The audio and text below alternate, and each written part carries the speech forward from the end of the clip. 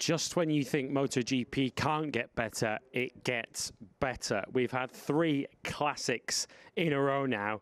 The latest, the French Grand Prix, won by Jorge Martin. We saw three titans of MotoGP going toe to toe this afternoon. Martin, Marquez, and Bagnaia. Only one in the end could emerge victorious today. That was Jorge Martin. This is after the flag. Louis Suddaby and Simon Crafar, as always, ready to try and make sense of what we saw. I guess same first question as Jerez. Before we come on to the specifics of the race, just your immediate emotions after what we just watched, those 27 laps? Yeah, I, I thought it was wonderful. It was, I mean, you could speak uh, about, especially about the first three. Um, the one that went missed was, you know, by the TV a lot, uh, Bastianini. Unbelievable. He was the fastest man on the track. Finished 2.2, I think, behind the leader. And the long lap penalty and like unbelievable ride. He needs to sort the qualifying and the beginning of the race out so he doesn't have to have the other hassles because um, unbelievable. So then Jorge Martin, um, people will be more impressed with Marc's ride through. But Jorge's was wonderful because he did it just managing, you know. It was really clever. Uh, you see, when he put the hammer down with three laps to go, he went in a bit hot to the chicane. I thought, he's on it. He braked later, a little bit too late. Um, then I, I, knew it'd be hard to beat, but it was super interesting to see who had what left. Um, Marc's ride, are we going to touch on everything? But unbelievable ride from Marc today. Wow. Yeah, incredible Grand Prix in front of another all-time record weekend crowd this weekend. Thank you to each and every MotoGP fan that turned out. Just short of 300,000 came through the gates here at Le Mans this weekend. And let's start with Jorge Martin, the race winner, the double winner this weekend, of course, because he won the Tissot Sprint yesterday. Of course, it's all about winning, but let's talk about how Jorge Martin won because – it's not just the fact that he took 25 points today, but it was who he beat. Just what kind of statement has Jorge Martin made here this weekend, but especially today? But yeah, all weekend he's been wonderful, really, really good. Right from Friday morning. Yes, from first session to the last lap of the GP this afternoon. And uh, I mean, the team are ecstatic. You know, talking to the team manager, watching the team, and they're so proud of him, of his work today. And um, I mean it when I said to him in Parc Ferme, it was mature as well because um, he didn't just try to run away. You know, he saved his gunpowder. You know, watching, managing front tyre, um, meaning you could see him a lot of the first part of the race, get it coming down this main straight we're seeing here. Uh, you'd see him swerve an extra bit right to stay out of the slipstream to keep a bit of fresh air on his front tyre so it didn't overheat and give him trouble. And then when he decided, he went, right, it's time. I'm going to start going forward, you know, and, and then he, he had that bit extra. It was really good. No mistakes. A little bit run wide on the chicane when he pulled the trigger for the last three laps, but otherwise, really good. Yeah, you mentioned the word mature there. Jorge Martin, if you remember, if you watched us back in Portimao, he used that word an awful lot in his post-race interview. Of course, he was so, so good last season. You don't challenge for the World Championship until the final round if you're not. But it felt that he was running a lot on intensity, a lot on emotion. But he feels like he's really married that with that maturity this year. He feels, I said it during the commentary, he feels like he's the complete package now. Yeah, well, the thing with Jorge is he's always been so fast. Um, I hope we get to talk about this a bit as well. Um, he, Jorge's always been f- so fast, um, but he, he's kind of emotional. He just rides on, just pulls the trigger, goes. And this race, a couple this season, but this race you could really see him manage, think all the way from the beginning to the end. So, yeah, it's not the first time he's done it, but he's reassuring Ducati that uh, he can do it.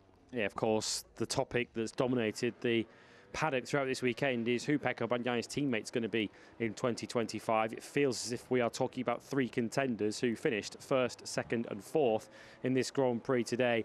You really don't feel as if Jorge Martin can do any more than he's doing at the moment. This was, of course, while he was playing the hunter rather than the hunted early in the Grand Prix. Pecco Bagnaia did so much of the running early on in that Grand Prix. It never felt as if he had that level of sort of superiority that he had in Qatar, where it felt like he was managing the lead. Of course, in Jerez, we saw him really have to get his elbows out up against Marc Marquez, but just how much will that one sting for Pecco Bagnaia? Of course, he's got some big points on the board, which of course he didn't yesterday, but to lose the race in that manner must hurt. Yes, um, pride-wise, yes. The thing is, I think Pecco did exactly what he aimed to do um, to get to the front there, and he defended it from from Jorge. So you could tell his strategy was to lead, and they'd set front tire pressure for that. You know, so he he was ready to fight for the lead. You could see that, and Jorge wanted it early on. He was he's following so close in that, and then he realised, let's just sit back a little bit, stay, you know, catch some fresh air where I can, and wait to the right moment. And so until that stage, I didn't know who was quicker. But when they all pulled the trigger, you saw that Jorge had more, and that's the bit that will sting Pecco. And he said it in Parc Ferme that top two were quicker. The other two were they had something extra. So that's the bit he's a little bit disappointed about. And you've got to realise as well, he didn't do the sprint yesterday, so he couldn't do a little step forward with bike setting or whatever it was. I think that part played a part. Yeah, a painful weekend in many respects for Pecco Bagnaia. In terms of the big picture, of course, he's still second in the World Championship and expect him to fight back strongly every time questions are asked of Pecco Bagnaia. He comes back with the answer. We'll talk about him a little bit when we hear from him. Marc Marquez in second place at the expense of Pecco Bagnaia. And right on cue, we can hear from the reigning world champion. Third for him today, he's with Matt Burke. Yeah, Pecco third in that epic, thrilling French Grand Prix here. Of course, not the win you wanted, probably not at one stage the win you thought you, you had leading for the first 21 laps. Third place, still a, a good rescue from yesterday, but it, I guess it's bittersweet, your feelings after this Grand Prix. Absolutely, but uh, I want to have a 360 uh, uh, visual of view. the weekend, view of the weekend and uh, it's quite positive. Uh, we started well, we were always competitive. We had just these kind of problems yesterday that uh, didn't uh, help uh, at all. But in any case, today we started better and uh, and I was able to fight. But I missed the last laps. They were faster. They they had something more and and nothing. Finishing third is always a good result for the championship. But for the next ones, we want to improve. Where did you see from the bike that you were missing compared to Jorge and Marc in those crucial last laps? Sector 3. Sector 3 was uh, uh, my weak point. Uh, yesterday was a good point, but today was I, I wasn't strong. Corner 9 I was losing uh, too much time. So I was trying to do the maximum. Sector 1 and Sector 2 were mine, but uh, the amount of gap I, I, was taking in Sector 3 was too much and, uh, and nothing. For It's something to improve, but but uh, we have time and uh, and uh, considering that yet, yesterday we didn't do the sprint today was uh, was important to finish the race. How comfortable were you at the front? I mean did you expect jorge to come through sooner? Did you feel like you, you had the pace to win before he came through on lap 21 i was knowing that he was fast. He was uh, he was able to follow me quite well. I just said some two three laps where i didn't do the a perfect job. I was losing a bit of time on uh, on the entrance of the corners with on the left side, but uh, but nothing. Um, something to, to improve for uh, for uh, for Barcelona. Let's talk about the last lap. Of course, I'm sure in your mind you were trying to work out where you could attack Jorge. So it got to turn nine when we know Marc passed you. But where on that last lap were you planning to attack Jorge? Where, where do you think was going to be your best point? Uh, corner 13. I was. Uh, I was knowing that I, I was faster than Jorge in that corners, uh, so my my strategy was to attack him there. But uh, Marc started to attack in corner uh, nine, and he was uh, he did a very good overtake. So it was impossible to to reattack because also in the second last corner he was very strong. And just talk us about the move from Marc. I mean, obviously he came from a long, long way back. I guess you knew he was going to, to, to, to attack. I mean, what was it like? I mean, it was a clean move, obviously hard move, but it was clean.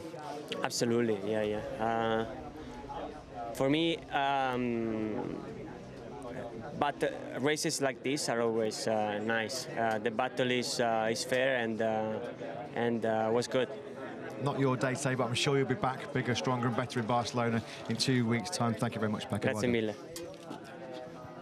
Yeah, understandably, Pecco Bagnaia keeping his enthusiasm under control there with third place. 16 useful points, but he loses ground over the weekend to Jorge Martin. Martin gaining 17 points over the weekend on Pecco Bagnaia. Clear that there are still things for him to work on, although big picture, as he said there, he's trying to keep a 360 view of everything, trying to keep everything in perspective. He will come back strong. I, I really think um, the things that he needs to work on. He's disappointed because he didn't get to find them out yesterday and then fix them for the, for today. And I believe he believes he would have been fighting for the win, not you know, re, I mean on that last lap, if he had to had all that. It didn't work out like that. Um, I'm glad he said it was a good overtake from Marc because it really was. I was super impressed, and uh, and you know. I agree with him. I think there was a little double meaning in there that he liked that it was clean, you know, because Marc's pass was. Takes. We'll speak about that more when Marc comes up, but. Um, Let's hear from uh, Jorge Martin first. Yep, your race winner today, Jorge Martin, quite possibly the best win of his MotoGP career. Let's get his reactions with Matt. Yeah, quite possibly the best win of his MotoGP career. Certainly one of the best of his entire career. Jorge, what a weekend. What a place to do it in front of a record crowd here today in Le Mans. Fastest in both sessions on Friday a record-breaking pole position and the sprint win on Saturday, and then an incredible win here today. How do you, how on earth do you try and describe your emotions? Yeah, I think uh, one of the best uh, weekends of my, my career so far. I think really close to Misano last season. I think was the same. First in every session, record, sprint and, and Sunday race. And yeah, today with this crowd was uh, super nice to win. Also beating Mar Marquez and, and Pecco Bagnaia, I think is outstanding. And yeah, it was a long race. I didn't uh, I didn't do the best start ever, but I think I was being second was perfect today because uh, I think Pecco had the weight of the race. I was just trying to to follow him. He was a good reference with this strange wind of today. And then uh, seven to go, I said, okay, I need to try. Uh, it's the moment. I, I saw he was struggling a bit on on some corners, and then you know, it was difficult to make the move. He was strong. Uh, I went wide the first time, but then the second time I did perfectly, and, and I was able to to close the line and, and keep that position.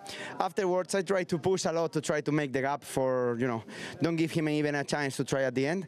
But I went wide on, on three to go, and, and then they catch me again. So it was, you know, pretty I was pretty nervous and tired at that time but I was you know last lap I was pushing everything I had uh, and, and winning here in Le Mans was special we saw afterwards you, you punched the screen you lost your visor on the cooldown lap so we could see what that win uh, meant to you Jorge not just in terms of the championship but it felt like a, a, statement because you did beat Pecco you did beat Marc in a real proper fight was was that the reason why you were celebrating so strongly yeah for sure um, you have a, I mean a lot of riders, I think all the riders we have some doubts before before starting the race.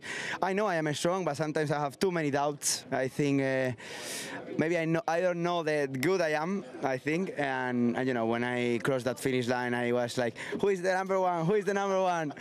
And uh, yeah, I think I, I don't have anything to demonstrate. I think uh, about my future, uh, I, I, can say that the things that happen in the next races won't change. I mean, even if I win, even if I crash, I think I already did what I had to, did, to do, and I'm really happy about my performance. I was just going to add, I mean, don't worry, you should never doubt yourself after a race yeah, like that. Thank we, you, we never doubt you. you because it was awesome, an absolute pleasure to watch, Jorge. But uh, of course, with everything that's going on about contracts for next year, do you do you think you sent a big message to Ducati today? Yeah, but for sure it's important. I think uh, maybe it's more clear, but I think it won't change. Uh, I am the same rider as yesterday, same rider as, as Thursday.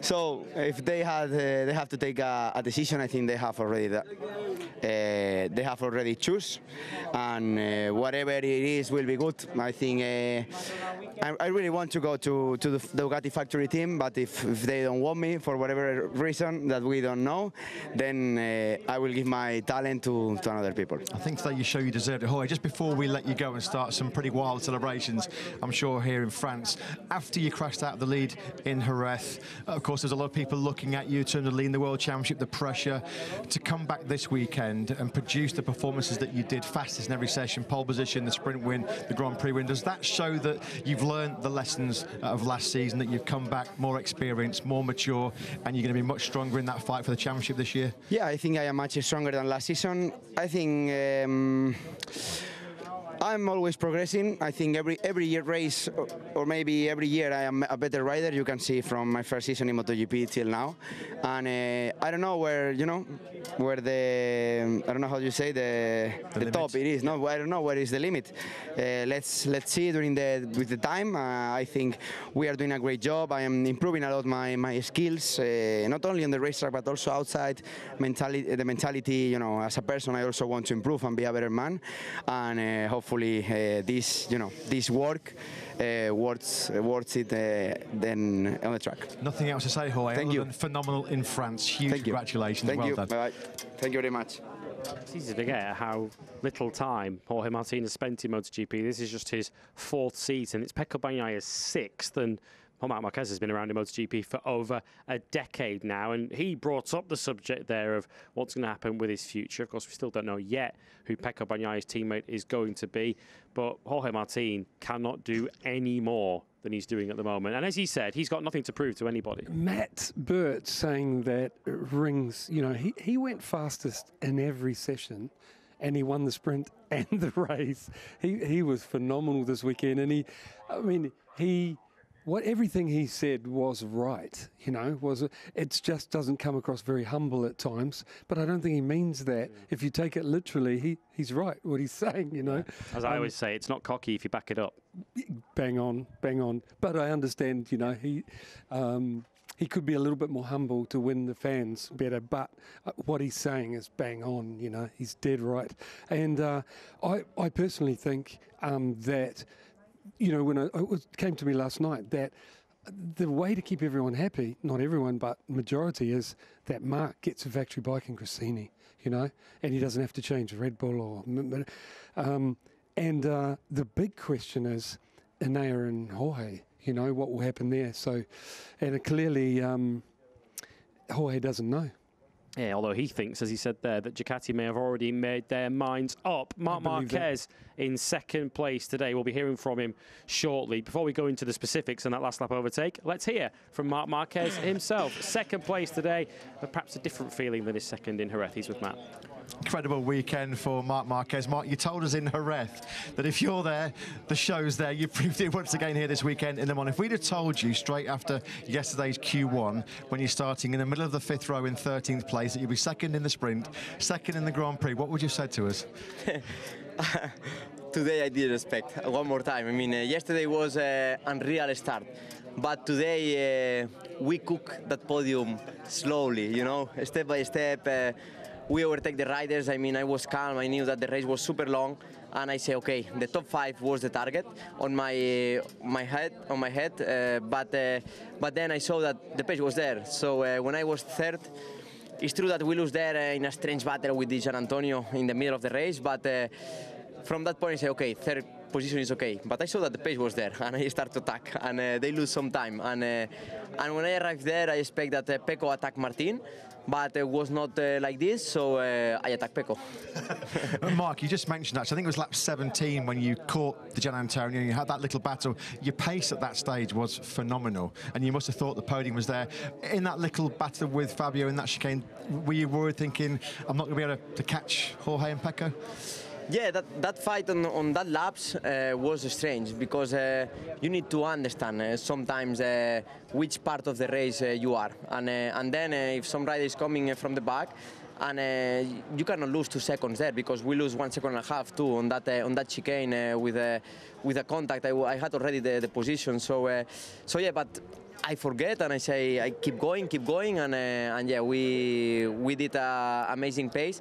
It's true that we thought that battle uh, I had more chance uh, because uh, I will have more laps behind uh, behind them.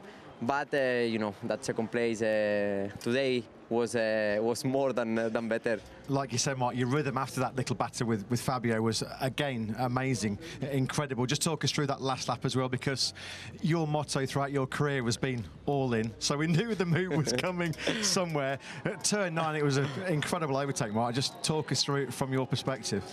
Today I was not convinced. eh. I was because when I arrived to them, I was completely exhausted. I mean, uh, I was pushing all the race, you know, no time to relax. And uh, and then I arrived to them and uh, and I tried to attack, but I saw that mm, I say mm, I'm not feeling uh, well now on the bike.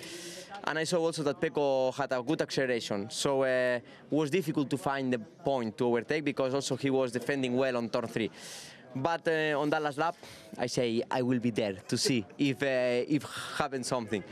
I saw that Pecco was not attacking the, uh, Martin, so I go out well from that tornado and uh, turn nine say try, try, I, and I was able to stop well. You were able to stop well. Marc, we have to remember this is just your fifth race for Ducati, but here you are now regularly fighting Jorge and Pecco are, are clearly the reference riders for the last two or three years at, at Ducati. I mean, how strong does that make you feel? How much confidence does that make you feel moving forward into the championship? Yeah, this is something amazing and uh, makes me just I'm enjoying. You see my face and uh, you see all uh, what uh, what we have inside the box. Uh, the atmosphere is relaxed. I mean. Uh, we start 13, but was no panic. I mean, okay, uh, we know that, uh, for example, to fight for a championship, you need to be on the level like Martin and Pecco, that they are all the practice, all single practice in the top positions still we are for example this weekend we learn something on uh, on that friday afternoon uh, that we, we choose the wrong direction so we learn for the future but uh, we need to to understand that still miss something to fight for the championship but uh, for me it's uh, super happy to to fight uh, with the two top guys inside ducati Marc, it was another amazing show. Please bring the same show to Barcelona as well in two weeks' time. Try, Please congratulations. Barcelona will be difficult, but we will try. Great job, Marc. Well done. Thank you yeah, you can tell the enjoyment is back, and he does, as Matt said there, return home next to Barcelona.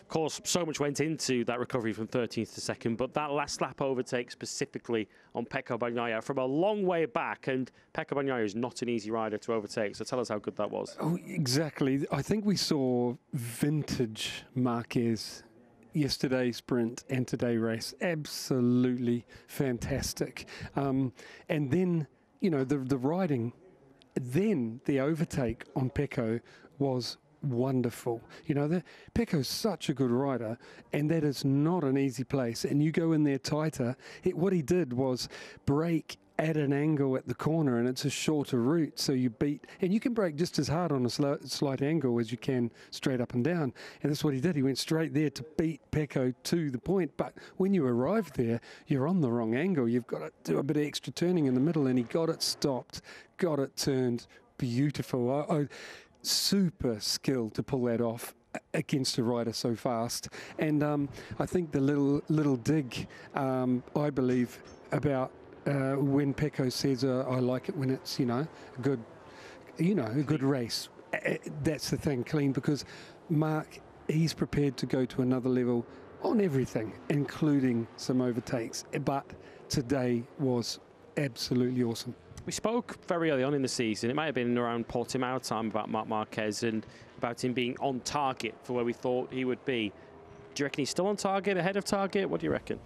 Um, I think it has been harder. Then he warned at the beginning of the year that it wasn't going to be easy. It's going to, you know, we've got goals and we'll, you know, he's told us the numbers, you know, over these races where he aims at, and um, now you can see he's happy because he's got the speed of the winner. You know, he's ready. He's dead right. If he'd got past DG easier, cleaner, quicker, um, he would have had a couple of laps having a breather behind them to get the, the, the lactic acid out and the tyre temp down a bit, ready to have a go and maybe even at Jorge. But it wasn't to be. But to have that speed, that's why he's so happy. Talk about someone else who had all of the speed potentially to win the Grand Prix today. Enea Bastianini, who finished in fourth place, was it simply a case, both yesterday in qualifying, but also today, of all the speed but none of the luck? Yes, dead right. Um, he had bad luck in qualifying, which put him back, you know. Um, it, okay, he had a fall, then it yellow flags, and then you know, it just didn't go to plan. Um, but his speed was there. He was the fastest man on track. You know, second half of that race, I was watching while you guys watching front battle. I was watching the um, timing screens, and for a long time, when he was totally out of sight, he was two tenths faster, three tenths faster than anyone. Then he did fastest lap of the race. He finished 2.2 seconds from memory behind the winner, even after long lap penalties and uh, shortcuts, and he was that's why the decision is going to be hard to make still between Jorge and Enea. Yeah, because he's doing a fine job himself. Very quickly, the long lap penalty. It wasn't for the contact or for the move on Aleix Espargaro. It was because of the shortcut. Yep. Kind of black and white, that one. Yes, because there is a black and white rule that if you cut that chicane, you would lose a lot of time if it's gravel. Okay, we've changed to tarmac, but you still have to lose a certain amount of time. It's got a little uh, chicane through there. If you win too much time or don't lose enough, you get penalised. And it's, yeah, black and white. They tell all the riders that before. Two very quick points to move on to because the riders are entering the room for the press conference, so we'll be heading across to join them shortly. KTM, not Pedro Acosta's today. Day to day, he crashed out early on, but Brad Binder salvaging something from his weekend, 22nd up to 8th. Yeah, great ride from Brad. I could see the team were really happy. I was hanging outside um, afterwards just to see, you know, exactly that. And they were high fiving, and basically, he he he rescued something from the day as good as he could from last on the grid. Um, Pedro's didn't go to plan. I have to say, at this circuit, the KTM seemed to be missing something on the Aprilias and the Ducatis, and I think Pedro did the best he could. He was trying his best, and he, he made a mistake. It was that mistake was due races ago, and just shows he's human, but he'll be back. I think it's fitting that we finish with a French focus. Although he didn't finish today, we had an all-time record MotoGP crowd this weekend, and in large part that's down to Fabio Quartararo. Just what a job he did. He did his own fans proud. He did. And uh, did you see fans crying? That was melted my heart, the young fellas. Um, but he's such a good rider. And I really believe that Yamaha have convinced him to stay because they've shown what the plan is. And I believe by beginning of next year, Yamaha will be back at least, back in the fight, at least close to the Europeans. Yeah, a great weekend for Fabio Quartararo, just not the ultimate result for it. Well, we have had three absolute classics in MotoGP.